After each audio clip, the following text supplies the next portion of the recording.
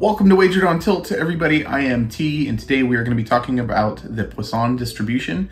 Now, I know I've done this in several videos before where I showed different ways of doing a Poisson distribution in the tables within Google Sheets and Microsoft Excel. However, today I want to go through how can you do it in VBA, which is code that you can put inside of Microsoft Excel. Now, the Poisson distribution that we've built in the past is it takes the information and then it dumps it into the table. The table runs a bunch of formulas and then outputs the info.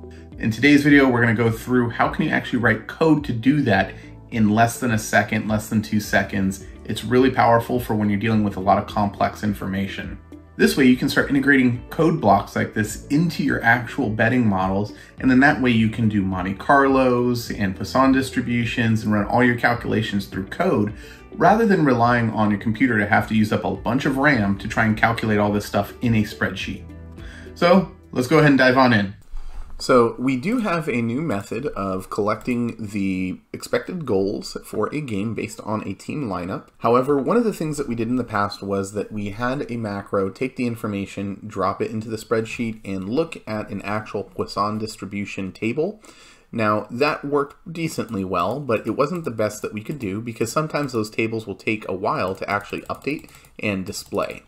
So what we're going to do now is write actually the Poisson distribution table in our code and then have the code figure out a lot of this stuff for us. And that way we don't have to rely on utilizing um, just a table with formulas that take time to update. So we're going to go through the Poisson distribution for the chance to win. We are going to go through also a macro in the next video on over-unders and running these through uh, actual code versus doing them via the formula. So in this model, what we have is a very similar soccer model, and I'm going to go ahead and start creating this subroutine that I need. So I'll type in sub p dist for lineup.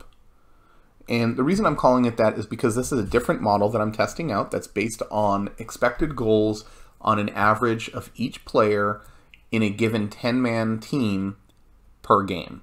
So that sounds complicated. That'll be covered in another video because again, I'm still testing this out. Um, so I'm distinguishing that this Poisson distribution is for that list. That way I can compare and contrast. How did model A do in its Poisson distribution versus model B in its Poisson distribution? So I need to also then do our typical application dot screen updating equals false, and then application dot screen updating equals true. Now that we have the screen updating turned off, we're going to go ahead and set up some additional uh, values that we're going to be using. So I need the home expected score. So I type it as home x score equals worksheets dashboard dot range b3 dot value 2. Now if you want, you can go ahead and set worksheets dashboard up onto its own variable.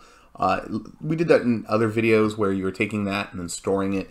I don't need to call this all that often, so I didn't take the time to write that, but you can do so if you want. So what this is going to do is going to take a look at B3 and say this is the home team, and this is my expected goals based upon what my output was saying on my lineup predictor. So I'm also going to set one for the away. So away x score equals worksheets dashboard dot range b3, oops, sorry, b2 dot value 2. Now that we've set that up, we need to evaluate chances to win. So we're going to say chance away team wins. Now we're going to create an on-the-fly variable as we did previously, which is summed away chance. And again, if you don't want to create on-the-fly variables and you want to declare them all at the top of your code, go for it. It's just, this is how I typically write things, as I can quickly churn these out. And then when I go to actually collect all of my models together, I will clean up the code later. Next, we need to go ahead and begin creating a loop. So I'll say for x equals 1 to 6. Next. Now, often we, on the Poisson distribution table, include 0 as an option. I am not including it here because this is going to see how many times do we predict that the scores could give a win to the away team?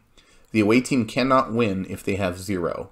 So we are not accounting for spreads. This is merely based upon the expected goals in a money line type of bet. um, we are not taking into account any kind of weird spreads or anything like that. So again, if it was 0 0, it's a draw, it's not a win. If it was 0 to 1, they lose, and so on and so forth. So we're going to start with 1. And then I'm going to say A for away, PCT for percent chance equals 0, and then HPCT chance equals 0. Now in here, we need to add a additional loop. So for y equals 1 to x. Next. So what we're going to be doing is iterating through these. So what's going to happen is we're going to do a loop within a loop, and then it's going to try and predict everything. Because remember, we have a vertical and horizontal axis on our table that we typically look at. This is building at that exact same thing in code. So now I'm going to say APCT chance equals application dot worksheet function dot Poisson underscore dist. And we're going to put our x, right? So the x value that's passed in is going to be our value. So this first loop would say 1. And then our away score, away x score, and then false. Then what we can do is just go ahead and copy this and paste this, and then we're going to clean this up a bit because now we're going to see H percent chance, right? And then we need to update this to Y minus 1, Y minus 1. So in here, what we're going to do is this is like saying for the team to go ahead and look at the first away goal and what is the percent chance they're going to get that one away goal and then this one is going to say we're taking the away goal count, right? Because if we're passing x, this counter is going to be going up to x. And then we're going to say now subtract one from it. So in this first loop, it's going to say the away team, what is the chance for them to get one goal? And then this one, it's going to say, what is the chance for the home team to get zero goals? Then we need to actually multiply those together because same thing, we did that in the Poisson distribution table where we multiplied the two. So I'll say product value equals APCT chance times HPCT chance. And then I will add one last variable down here, summed away chance equals summed away chance plus product value. So again, what it's going to be doing is looping through and collecting us our probabilities of those teams winning um, based upon the goal counts, right? So in here, it's going to loop through and get our chances that they're going to win. So by setting this up on X, it's going to say the away team is going to start out at one goal, and we're going to loop through. So then it'll say one to one. So this inner loop will run once, and it will then subtract one from Y, which gives us the score of the away team at one goal, the home team at zero. We're going to multiply their probabilities to get our product value. And then we're going to add our product value into this, uh, what's an aggregate, right? Or an accumulation, or it's just, you know, a continual bucket to get all of our percentages of chances. Then on loop two, it's going to come back through and say X is now two. So it's going to come in here and say we're going to check one to two. Then on the second pass, it's going to come back through and say the away team to score two and the home team to score one. In all those scenarios, those are the teams winning as the away team. Now, I know that sounds a little complicated, um, and it a little bit is if you're not used to loops and things like that, and ways that you can do timers and countdowns and things like that. But trust me, this does work. This is a method to do this where you can build the Poisson through code. There might also be other ways. If you find another way, great. Please feel free to share it in the comments. Uh, that way we can all improve our outputs. So now we need to store where we have our actual values. So I'm going to say worksheets dashboard dot range c2 dot value 2 equals summed away chance. And that's going to then drop in here the away team's chance to actually win. So now that we have that, we're going to go ahead and go on to the home team chance to win. So I'm going to copy this information and hit that, and I'm going to change away to home. Then we're going to keep these chances because we're flushing them out, right? So that's good. And then when we come in here, this one is going to stay this way, but we're just going to switch this out for the y minus 1, and we're going to rotate this one to x, and this one will be left as that, and then this one is home. So that is one thing that I just noticed I messed up up here. So let's go ahead and fix that really quick. Home X score. So again, it's going to do the same kind of loop where it's going to keep counting and saying while the away team has one more goal, and then in this loop, it's going to say while the home team has one more goal. The nice thing is we just have to change out these two values in here, and then we're done with this one. And same thing, we'll copy this, paste that there, and we'll change this to home, just so that we don't lose track of where we're at. Home, home, okay, and home. To calculate out the chance to draw, we need to do that one as well because that is part of our Poisson for games where you can actually have a draw. So we're going to say uh, summed chance equals 0, and I'm going to then say for x equals 0 to 6. And the reason that I'm going from 0 now is because a 0-0 score could give us a draw. So I'm going to say APCT chance equals 0 and APCT HPCT chance equals 0. So we're setting those up to zeros again. Tab this in so it's a little bit easier to read. All right, so then we're going to say the APCT chance equals application dot worksheet function dot Poisson dist. Okay, so again, this is the away chance. So we're going to put x, so whatever that value is, away x score false. And then what we can do is just copy and paste this one in again and just flip the information for the home. So we'll go ahead and take this one, put that one to H, take this one, set this one to home. So now it's going to say what are the chances of them getting 0 as the away team, 0 as the home team, and then it's going to go ahead and multiply these. So product value equals APCT chance times HPCT chance. Then we will say summed chance equals summed chance plus product value. Then we're going to come out of this loop, so close that one. And worksheets dashboard dot range c4 dot value 2 equals summed chance. And that's it for this loop. So now that we have all of our values correctly set in the code, I did have a few typos that I had to clean up because it wasn't finding the variables.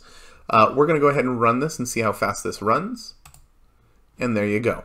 So it has already calculated out the Poisson distribution. And one of the great things about this is that you can actually set this up so that it will run this way and get you the information you need fast, right? This is much faster than loading it into a different table and running calculations and waiting on formulas to calculate things out. So we can actually go ahead and flush some of this stuff. So I'm going to flush this info and I'm going to get rid of this and I'm going to get rid of this and this.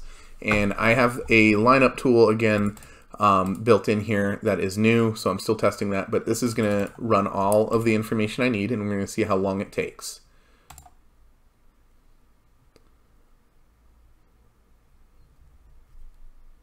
All right, so what that's gone ahead and done is given us our expected goals for the game. It's given us our Poisson distribution of chances. It's given us our Monte Carlo over-unders and then our Monte Carlo simulations for chances to win. Now, it did seem like it took a little bit longer to run. The difference, though, is in Google Sheets, I typically have mine set up to run um, 10,000 scenarios and run those Monte Carlos 10,000 times, right? Now, since I'm doing this in code, I decided to up the amount of Monte Carlos. By doing it in code, it actually ran through 100,000 scenarios for each version. Um, so that's really fast comparative to Google Sheets. So if you want something more complicated um, that can spit out a lot of great data like this, this is the way to go is with Excel. Um, or you can start learning other development uh, code languages such as like R or Python that will also help you. So that is it for this piece. And this is, again, just doing a Poisson distribution through code. And there you have it. All of our codes has spit out all of these values so I can make an educated decision. Please disregard, though, the values that are showing in the sheet. I do not suggest if you see this video before a game to bet this. This is just a testing model. I do not know if these values are going to work out. Um, I still need to do more back testing and evaluations on some of my formulas and things like that. So I do not suggest that you go ahead and do any of that. So that is it. That is how you write a Poisson distribution in VBA for Microsoft Excel.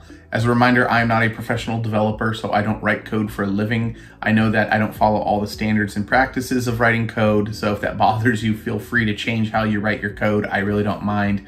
Um, it's your model, not mine. I just want to try and get this out there so that people can understand how to write this stuff in a very simplified version. So using the VBA code, that works really well. Again, you can mix and match this with all kinds of other types of pieces of code that you're writing to work within Microsoft Excel. I am doing it in Excel and not any other kind of language because to me, Excel is one of the most accessible types of things that people can do and VBA is very easy to learn. If you like this stuff that I am providing and the information that I'm handing out, please feel free to subscribe to the channel. That way you're notified as soon as the next video is up. If you have any family or friends or know anybody that's interested in sports betting that could use this information, please share the content. The whole goal is to get this information into everybody's hands. If you found this video helpful, please give it a thumbs up. That way I know that it is useful and also Google and YouTube know that it's useful. Every time you give a video a thumbs up, it runs through the algorithm and promotes the video up in search results and things like that. That way this content can help other people so that they can also learn how to grow and develop their own sports betting models and improve upon some of the skills they've already established. If you like the content, you can also subscribe to the channel. That way you get notified as soon as the next piece of content is ready and available. If you have any questions or concerns or need some assistance, feel free to drop a comment into the video. I'm more than willing to help you. If you also have ideas for things that you want to see, sports, different modeling methods, things like that, please let me know. Just drop it into the comments. You can also reach me on Twitter at Wagered on Tilt. I do help people with their models through that. I will answer messages and questions through there. So other than that, Happy wagering.